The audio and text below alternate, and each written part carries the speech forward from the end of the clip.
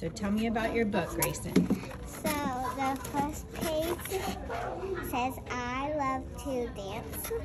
And then the second page has a car and the person's walking in. And that is a web with the um, strawberry with it. And then, then this is the bunny and um, the nice forest.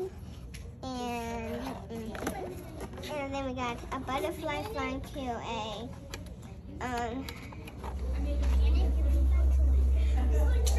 a flower? flower. Mm-hmm. And then we have these two because the bee sucked on it.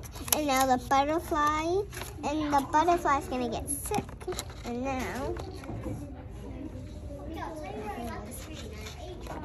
Is that the last page? Yep. And then we have Garrett, me, and Lincoln. And then we are sitting by a campfire. And Garrett, his skateboard left back, um, is back there. And then he's gonna go skateboarding when the fire goes off. And Lincoln's gonna run. And I'm gonna play with my toys. Hmm. Very good job. Oh, look at the back too. Good job, Grayson. The bunny's taking over the side, and then the pink, and then the house, and then the footsteps coming into the house of the bunny. Perfect.